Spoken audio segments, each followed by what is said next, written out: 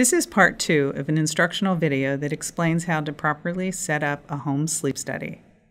Part two will outline the steps to complete at home before your child goes to sleep. In this video, we will cover arriving home, supplies, at-home instruction, bedtime, morning. Your child will arrive home from the lab with the electrodes, device, and chest and belly bands already in place. His or her head will be wrapped in gauze. If your child complains of being itchy or you see her or him trying to itch the electrodes, encourage your child to tap them, but not rub. If your child complains of being hot or you observe your child trying to touch the electrodes, wires, or gauze, distraction will likely be the best solution. Try to engage your child in a favorite activity, such as watching television, playing on a tablet or phone, playing a game, singing, reading, anything to help distract him or her from the gauze and the electrodes. You will place the following items on your child right before bedtime a pulse oximeter, a cannula and a thermistor, animal face stickers. A pulse oximeter is a sensor that can measure the percent of oxygen in your blood. Place the pulse oximeter watch on your child's non dominant wrist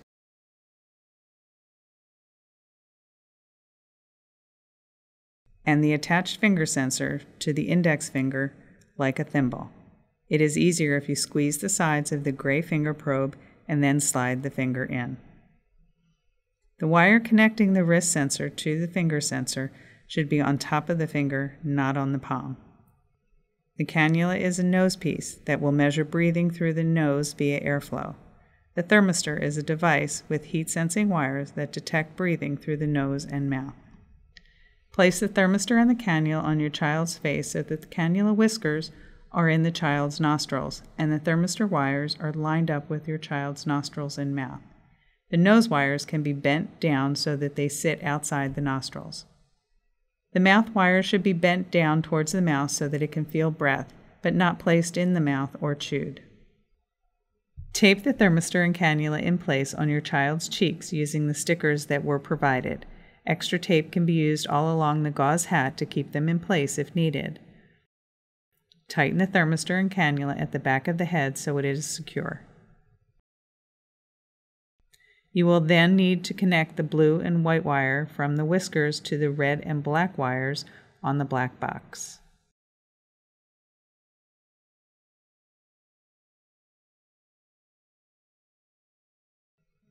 You will also need to connect the tubing from the nasal cannula to the black box.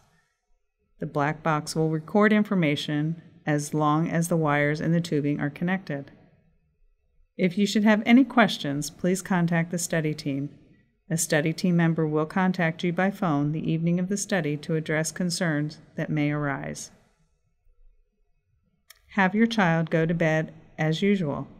The device will start recording at a preset time. You will need to be in the room with them overnight. If he or she wakes or tries to remove anything while asleep, provide reassurance, guide his or her hands down, and encourage her or him to go back to sleep. He or she will likely need to start by lying on his or her back, but you do not need to reposition him or her throughout the night. Please just monitor that the pulse ox and the cannulas stay in place.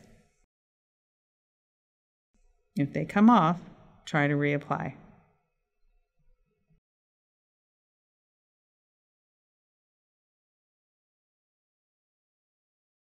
In the morning, when your child wakes up, please remove the black box pulse ox, and all wires.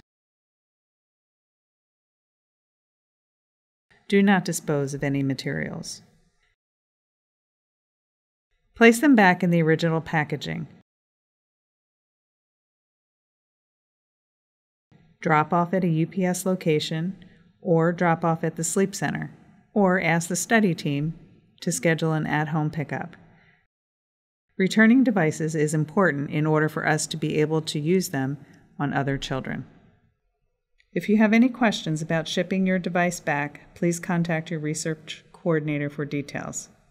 Thank you for participating in research at Children's Hospital of Philadelphia.